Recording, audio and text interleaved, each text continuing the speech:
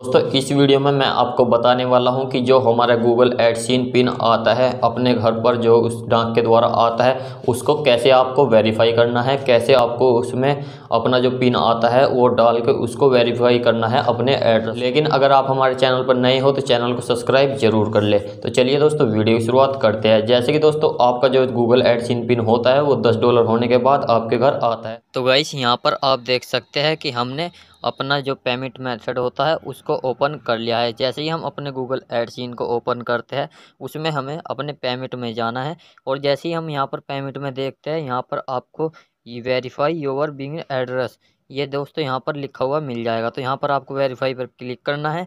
उसके बाद दोस्तों यहाँ पर जो आपका एडसिन गूगल एडसिन आया है आपके पास, उसमें छः अंक का डिजिट कोड मिलेगा। यहाँ पर आप देख सकते हैं कि जो हमारा आइडेंटिटी वेरिफिकेशन है, वह कंप्लीट है। एड्रेस वेरीफाई हमें करना है। तो गाइस यहाँ पर अब हमें क्या करना है? यहाँ पर अब हमें छः डिजिट का जो दोस्तों हमारे पास कोड है, जो हमारा गूगल एडसिन हमारे एड्रेस पर आया है डाक के द्वारा, वो यहाँ पर हमें भरना है। उसे ही भर के दोस्तों, जैसे कि यहाँ पर छः का वो होता है, उसको यहाँ पर डालना है और इसे सबमिट कर देना है।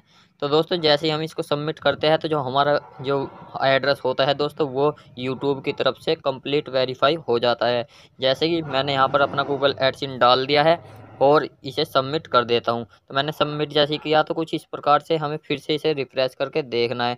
जैसे हम इसे रिफ़्रेश करते हैं तो दोस्तों जो हमारा वेरिफिकेशन होता है, वो आइडेंटली और एड्रेस दोनों वेरीफाई हो गया है। आई होप दोस्तों वीडियो पसंद आई हो तो लाइक कमेंट शेयर ज़रूर करें।